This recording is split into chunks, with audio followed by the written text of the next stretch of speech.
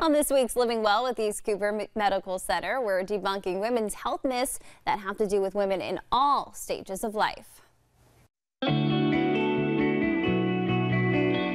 For this week's Living Well, I'm here with Dr. Alexandra Stiles from East Cooper OBGYN. Welcome. Thank you. Thank you for having me. Of course, of course. I'm sure there's a lot of myths out there when it comes to women's health. What should we know about this? What are some of those myths? Yeah, I think with you know, social media and Facebook and the internet, it's a good tool for patients where they're able to like look and learn about their mm -hmm. healthcare, but also you're right, a lot of misinformation and myths that can mm -hmm. develop.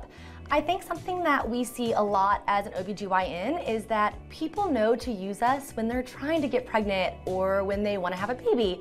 But the times before that and after that, we're a great resource for them as well. Mm -hmm. So before early when young women are starting to have their periods, we can talk to them about the pain they're experiencing. Are their cycles normal? Mm -hmm. And then sort of as they develop more sexual maturity, they may want to talk about safe sex and safe relationships and consent. They might want to talk about um, sexual tra uh, sexually transmitted mm-hmm. diseases mm -hmm. and whether they need to do protection for that or screening or testing mm -hmm. for that or um, contraception. Mm -hmm. So thinking about ways to prevent an unintentional pregnancy. And then after pregnancies, when you are more in your middle age, perimenopause, postmenopause, you're going through a lot. Your body's changing in a lot of ways. So women notice things like hot flashes, night sweats, sleep changes, mood changes. Um, they may notice that intercourse didn't feel the same way as when they were younger, and they may want to talk about that. They may notice changes in their ability to hold their bladder or leaking with urine. So all of those are things that we're able to address in appointments with your gynecologist that you may not do in your normal appointment with your primary care physician because at those appointments you're talking about everything else. Yeah. So we're happy to see them at any point in their life to talk about those things. Yeah, what about pap smears? How often should we be getting those and at what age? Yes, so I think that's another big myth around women's care. So every time that you have a pelvic exam or women, you know, they see the dreaded speculum, that does not mean you're getting a pap smear.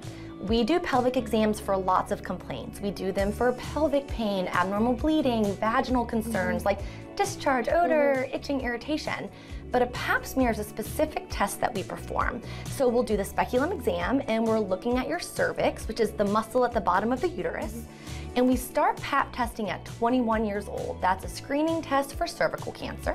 We place the speculum, we do a quick plastic swab to kind of collect some of those cells and then someone looks at them under the microscope and they look for precancerous or cancerous cells. Mm -hmm. Between ages 21 to 30, you do those once every three years as long as they're normal and things are coming back fine. Mm -hmm. After the age of 30, we add on a test called HPV or the human papilloma virus test.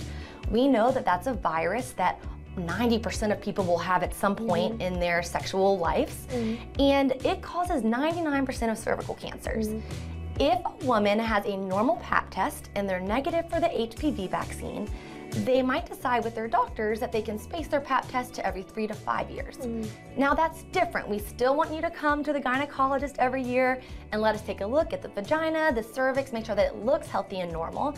And of course, if any concerns arise in those times, we're always happy to do an exam. But the pap test is critical to prevent cervical cancer. And it's a new year. Um, is there anything else we should know to get on top of our women's health? Yes. So Along with your OBGYN, your primary care doctor might talk to you about things for routine maintenance. So starting at the age of 40, women should be getting a mammogram every year. PAP testing we just talked about. Um, also looking at things like your vaccines and your colonoscopies mm -hmm. that start at 45 now. So a lot of our screening recommendations are getting younger as mm. science is getting better and we're discovering things earlier. So always check in with your primary doctor, your OBGYN, and make sure that you're up to date on your screening so that we can catch things early and make sure that you stay healthy longer. And if someone at home doesn't have um, a gynecologist yet, where can they go? Yes, so um, Alexandra Stiles, East Cooper, OBGYN. You can look us up online, you can call our office, and we're happy to see you. Perfect. Dr. Stiles, thank you so much for being here. Yes, thank you so much.